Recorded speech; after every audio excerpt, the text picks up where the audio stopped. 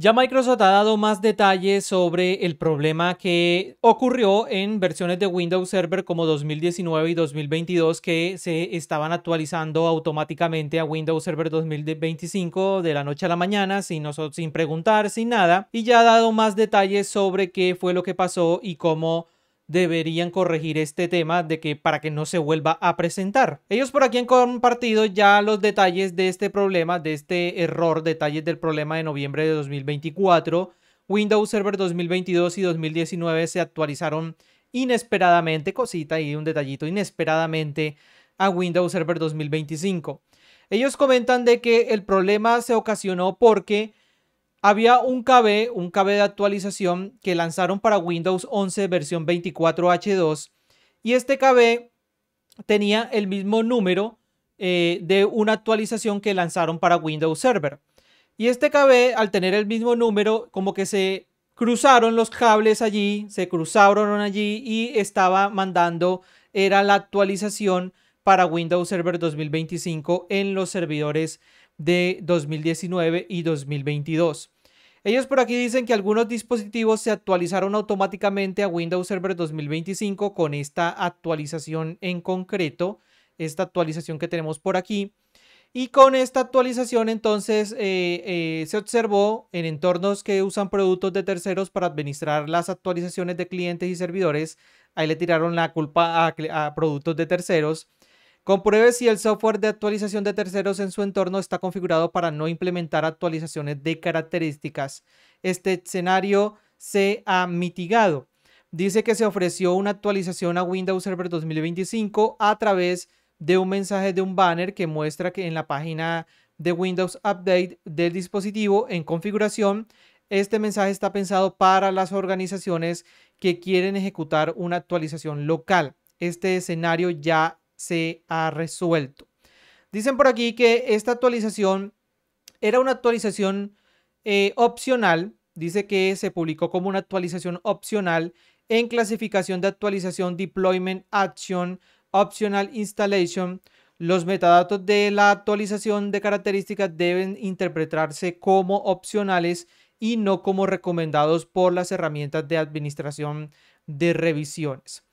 Por aquí Microsoft ha compartido que también recomiendan a las organizaciones que usen los métodos recomendados por Microsoft para implementar estas actualizaciones y que los pasos siguientes es que Microsoft está trabajando con proveedores de terceros para simplificar los procedimientos recomendados y los procedimientos recomendados, aquí eh, simplificar los procedimientos recomendados y los procedimientos recomendados, la visibilidad del banner de oferta de actualización de características se puede controlar estableciendo la versión de destino Hall en las directivas de grupo. Hay una directiva de grupo aquí en Windows Server que nosotros podemos controlar aquí en la parte de eh, Windows Component, Administrative Templates, aquí en la parte de Windows Update y aquí en Windows Update for Business, donde nosotros podemos controlar la versión a la cual queremos nosotros actualizar, cuál es la versión de destino a la que queremos nosotros controlar. Microsoft va a estar publicando información reciente, yo les voy a compartir por aquí una vez esté disponible, sobre cómo vamos a poder controlar esto para que se quede siempre nuestra versión allí en Windows Server 2019 o en 2022 y que no se actualice automáticamente. Pero ya obviamente esto ya lo han corregido y dice que ya eh, este tema no va a volver a pasar de que vemos que la actualización de características de 2025 estaba disponible con carácter general a partir del 1 de noviembre de 2024, que era el mismo número de KB que se estaba usando para Windows 11 versión 24H2 y este, esta era la numeración del KB para estas actualizaciones de Windows cliente y servidor disponibles en ese momento.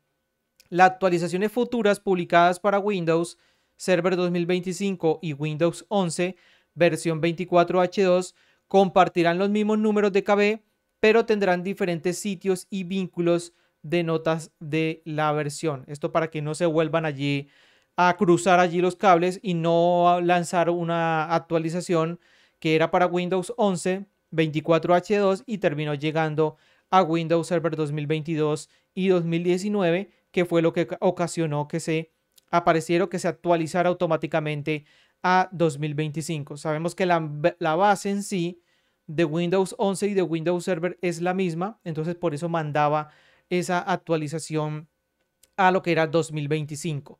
Entonces ya Microsoft dice que esto no va a volver a pasar, que ya está solventado este problema, que dice que este problema se observó en entornos que usan productos de terceros para administrar las actualizaciones de clientes y servidores.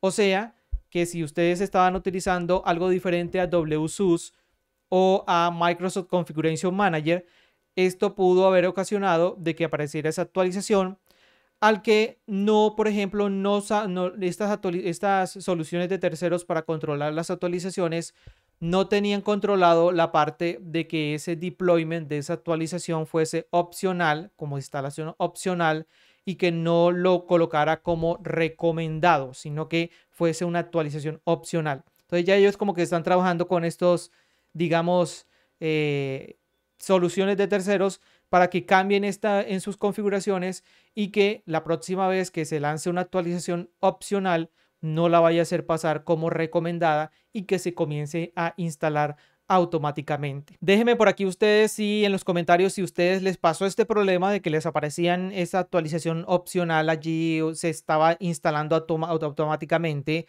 de Windows Server 2025 y si manejan productos de soluciones de terceros para toda la administración de actualizaciones en Windows o, estaban actualizando o, o, estaban manejando esto de forma manual. Entonces dejen por ahí en los comentarios. Por aquí les dejo esta información para que la tengan en cuenta. Ya supuestamente no se va a volver a presentar, así que tengamos en cuenta estas actualizaciones a Windows Server 2025 que ya saben que se van a comenzar a, realizar a través de Windows Update. Nosotros vamos a poder hacer un upgrade directamente, que es una de las novedades que tenemos con Windows Server 2025. Así que hay que tenerlo en cuenta, hay que controlar las actualizaciones y yo les estaré compartiendo información sobre esa forma, esa directiva para que no actualicemos allí. Si se llega de pronto a presentar nuevamente este problema, no vayamos a pasar a 2025 sin nuestro control. Entonces espero que te sea de mucha ayuda esta información. Ya sabes que aquí en JGA IT Pro siempre te mantengo actualizado con todos estos temas de Windows Server. Y si quieres aprender más acerca de Windows Server, ya sabes que tienes mis cursos en la descripción del video. Nos vemos. Chao, chao.